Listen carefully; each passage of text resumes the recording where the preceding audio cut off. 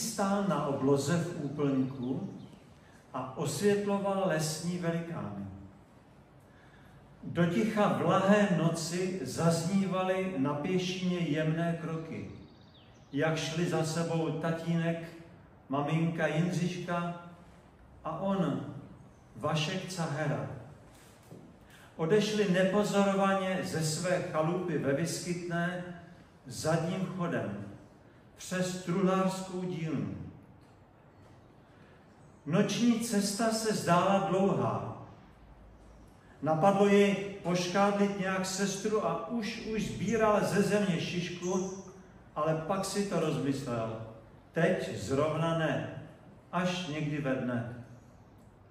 Les se záhy rozestoupil a ocitli se na malé mítině. Ve svitu měsíce zahlédli postavy bratří a sester. Někteří stáli a nakloněni k sobě tiše hovořili. Vždyť se již dlouho neviděli. Jiní pak v očekávání nadcházejících chvil bez hnutí seděli na kamenech rozsetých v trávě. Jeden z kamenů vystupoval výš, jako stvořený pro zřízení lesního oltáře. Václav znal dobře lesy na úpatí křemešníku, plné bludných balvanů a rozmanitých zákoutí. Na toto místo si ale nemohl vzpomenout. Skrytě před očima lidí, kterým by ani na mysl nepřišlo, že právě pod touto horou se schází pronásledovaná jednota bratrská.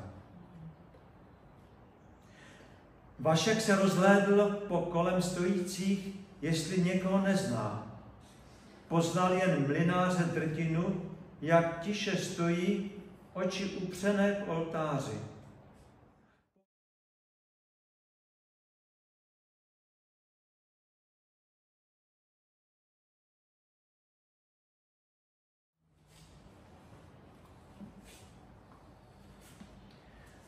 Tak to byla vzpomínka z mého kraje.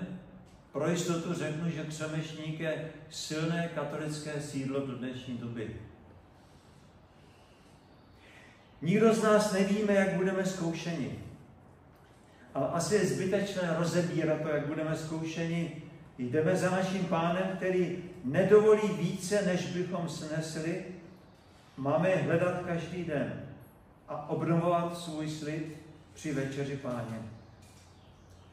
Chci otevřít Boží slovo 1. Korinským v 11. kapitole, kde od verše 23 jsou psána slova. Já jsem přijal od pána, co jsem vám také předal, že pán Ježíš v tu noc, kdy byl zrazován, vzal chléb, vzdal díky, rozlomil jej a řekl, vezměte, jeste. Toto je mé tělo, které se za vás láme. Toto čiňte na mou památku. Stejně vzal po večeři i kalich a řekl, tento kalich je nová smlouva v mé krvi. Toto čiňte, kdykoliv byste pili na mou památku. Neboť kdykoliv byste jedli tento chléb a pili tento kalich, zvěstujete smrt páně, dokud on nepřijde. Kdo by tedy jedl ten chléb nebo pil kalich páně nehodně, bude vinen proti tělu a krvi páně. Ať člověk zkoumá sám sebe. A takto ať z toho chleba jí a z toho kalicha pije. Neboť kdo jí a pije nehodně, jí a pije sobě odsouzení. Neboť nerozsuzuje tělo páně proto jsou mezi vámi mnozí slabí a neduživí a mnozí usínají. Kdybychom rozsuzovali sami sebe, nebyli bychom souzeni.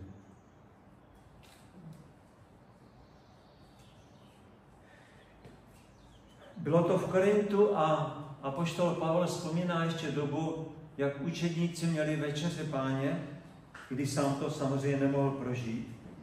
A všimněte si, jak je zde zdůrazněno, že tím chlebem je tělo Kristovo a to víno je krev Kristova. Je to někdy napsáno až velmi doslovně, protože chléb, sarx v řečtině je opravdu tělo, tělesné tělo. Toto budete jíst. Teď si jdeme dohromady, že židé v tehdejší době, když byly velikonoce, tak jedli bránka a toho museli sníst. A bylo to povinné sníst je, aby se k tím pán Bůh přiznal. Už tehdy v Egyptě, že, a když to židé vždycky dělali. Tak to měli sníst a teď pán Ježíš říká, vy jste mé tělo.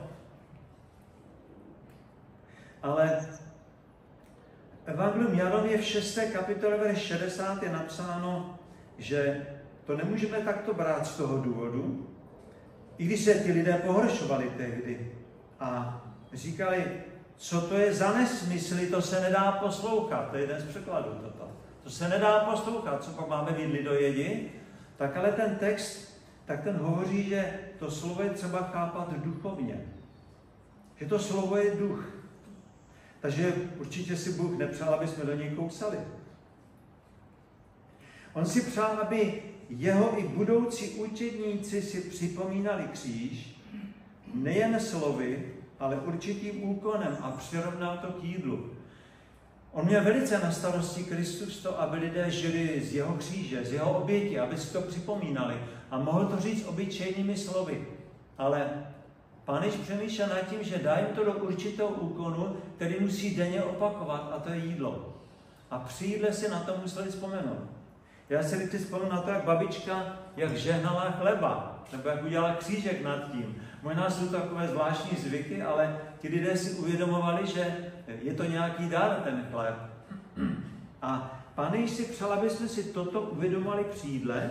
Já, když jsem se stal křesťanem, tak jsem si říkal, to je tak zvláštní, vždycky před jídlem se všichni modlí, ale když jdou někam jinam, já nevím, do banky, do práce podobně, tak se nemodlí, ale před jídlem se modlí. Proč zrovna před jídlem?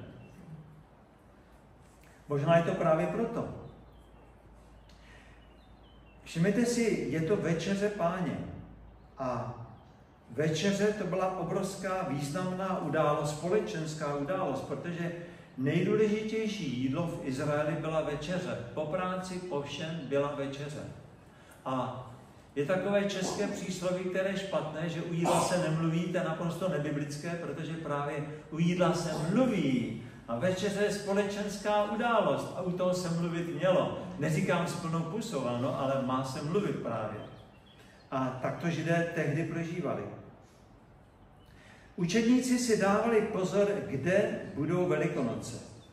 Ptali se, kde to bude mít, je také zvláštní, protože většinou Kristus vedl všechny hovory a říkal jim, kam půjdeme, co budeme dělat, říkal jim různé věci, ale tady je, že učedníci šli sami za Kristem a ptali se, kde budou velikonoce, kde to budeme slavit. A pán, pán Ježíš jim potom řekl, kde to bude. Tady vidíme, jak učedníci si velice dávali pozor na izraelské svátky, na zvyklosti, které byly velice důležité v tehdejší době. Samozřejmě Kristus by s nima prožil Velikonoce a sám by to vedl, ale oni se sami na toto ptali. My jsme o tom hovořili, že měli mezi sebou zvláštní náladu a že vlastně eh, mysleli sami na sebe. Povyšovali se jeden na druhého. To byli učedníci u večeře páně, ale všimněte si, že v tom Korintu, jak jsme četli, tak Apoštol Pavel začíná tu kapitolu, že to je pohoršení ta vaše večeře. A končí tím, že jeden se přejí, druhý se nenají a podobně. Takže bylo to pohoršení kolikrát, jak to mnozí brali, jak to chápali tady toto. A Ježíš Kristus tedy měl zájem, aby vytvořil nový obřad pro křesťany a udělal právě večeři páně. Právě do této situace to udělal. Já jsem kolikrát přemýšlel nad tím, Velikonoce nemají nic společného s křesťany. Jenom ten čas, že o Velikonocích byl Kristus ukřižován. Ale pán založil nový obřad, založil večeři páně a já jsem, pomínám si, jak jsem v Banské Bystrici jednou profesorovi říkal, já to pořád nechápu.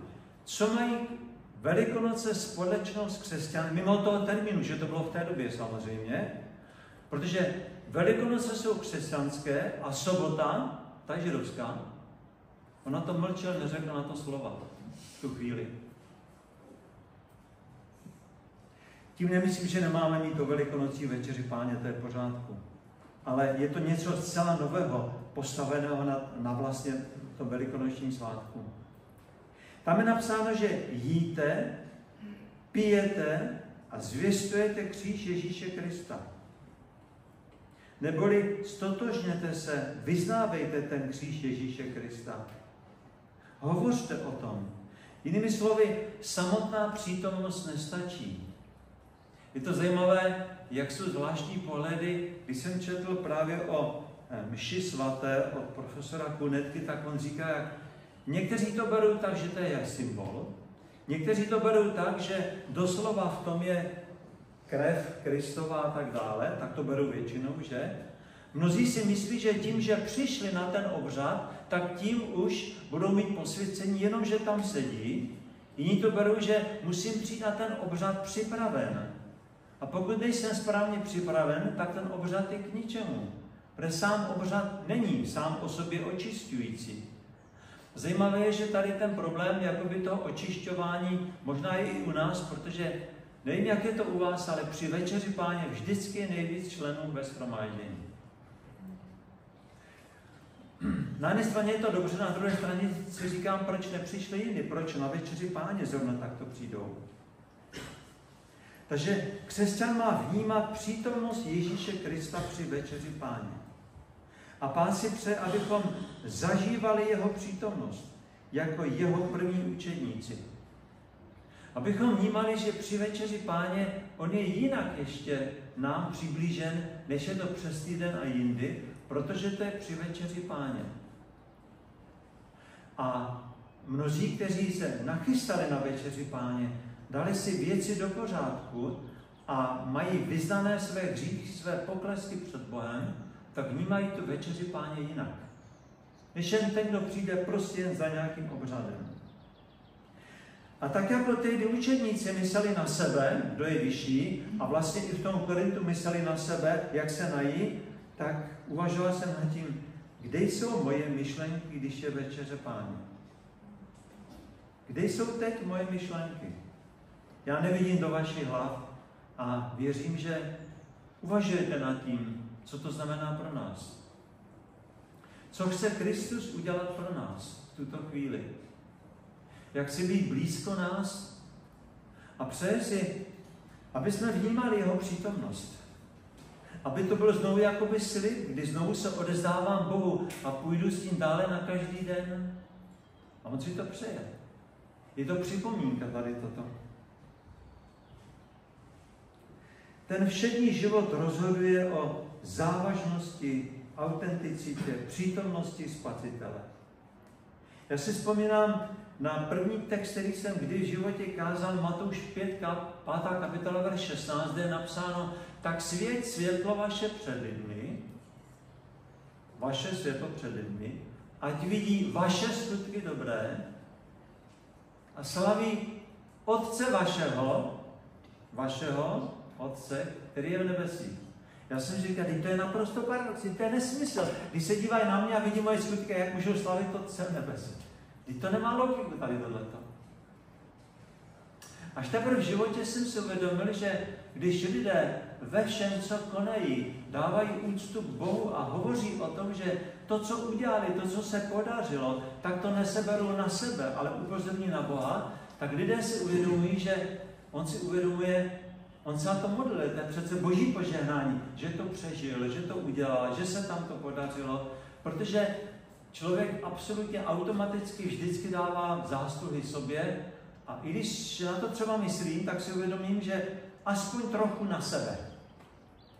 Je to zajímavé třeba i při modlitbě, když, když se modlím za odpuštění něčeho, tak neřeknu to naplno, se takřka vždycky, že se nemodlím za to, aby mě Bůh odpustil, co jsem udělal, že tam taky přidám, bylo toho hodně, byl těžký den, bylo hodně práce, hodně lidí a teď si uvědomím, ty se vymlouváš, ty tam říkáš různé důvody, aby si vysvětlil, že není to úplně tvoje vina. Nevím, jak to máte vy, ale tak je to asi člověku vlastní tady toto. Já to zjišťuju u sebe. A my máme oslavovat svými skutky Pána Boha tak, že lidi nás uvidí a budou oslavovat tedy Jeho. Tam to verši další 28, 29, nebudu to je číst, je napsáno, že kdo nepozná, že jde o tělo páně, jí a pije sám sobě odsouzení. Kdo nepozná, že toto je tělo páně, kdo to nepozná, tak jí odsouzení. To zní strašně doslova, tady toto, ale kdo nepozná, že tady toto představuje tvůj každodenní život, jak, se má, jak máš Eh, brát do úst to jídlo, jak máš to přežvíkat, jak to máš vzít z toho ty živiny, dát to do žaludku a z toho žiješ, pokud si toto neuvědomuješ na každý den, pokud tak to nežiješ na každý den tady z tohoto, tak je to prázdné. Tak to aspoň chápu. Protože nestačí jen vzít si to teď a bylo by to vyřešeno. A ve verši 30 je napsáno, Mnozí jste slabí a nemocní, protože jste nepochopili, že to je tělo páně, že to je krev Kristova.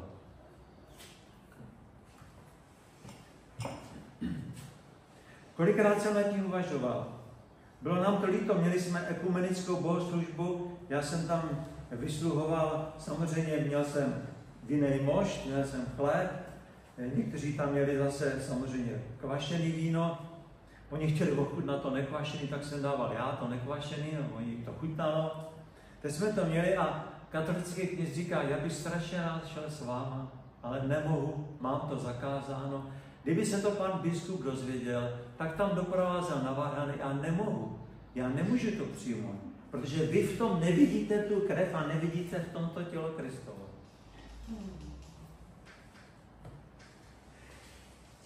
Někdy to připadá trošku jakoby až mystika, protože jak kdyby to, to ono bylo právě tělo Kristovo, nebo já to řeknu ještě jinak, já jsem prožil po mši svaté, že vzal ostatky jednoho svatého, bylo to takové zářné kouli, tady byl ten kousek ostatku a on vysílal při noci kostelu na teleč, vysílal tu životos, životodárnou energii od Pána Boha. Takhle se otáče úplně dokola, aby to šlo všude dokola na telexku a zvláště na ty lidi, aby to šlo.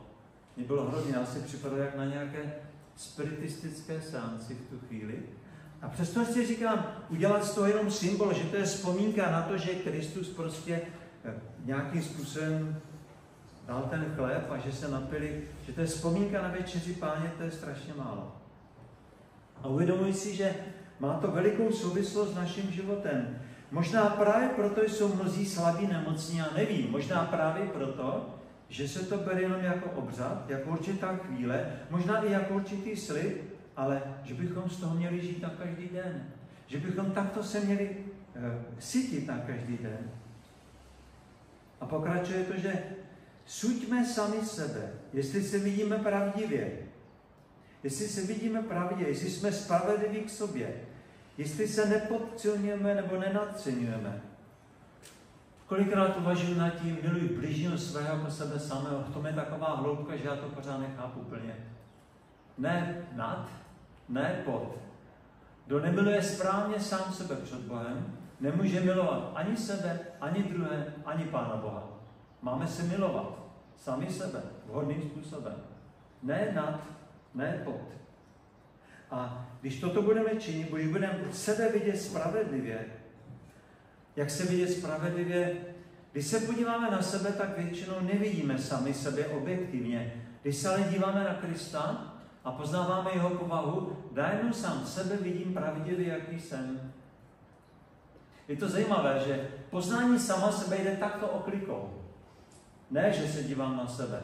Zajímavé je, že i blížního, když si poznat blížního, tak já nemůžu jenom poslouchat jeho, ale musím se dívat na Krista a přes Pána Ježíše poznávám toho svého blízkého, jaký on opravdu je.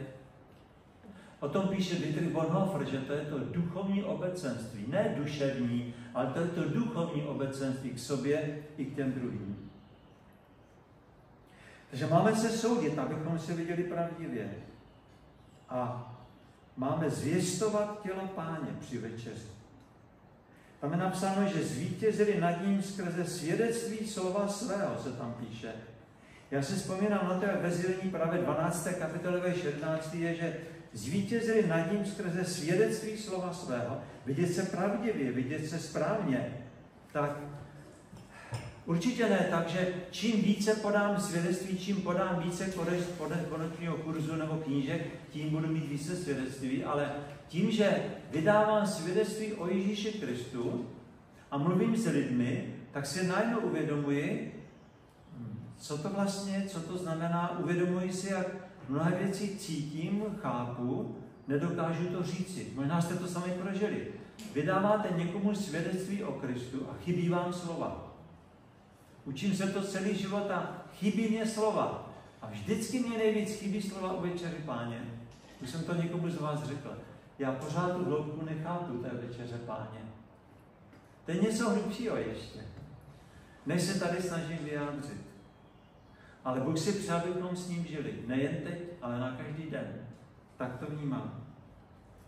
Pojďme tedy Ježíšem Kristem přijímat také, ne jak ode mě, ale od Pána Boha, přijmout ten chléb, který nám Pán Ježíš nabízí. Můžu vás poprosit, můžete postat modlitbě, pomodlíme se za tento chléb a prosím bratra Slavička, když jsem šel poděkoval za ten chléb.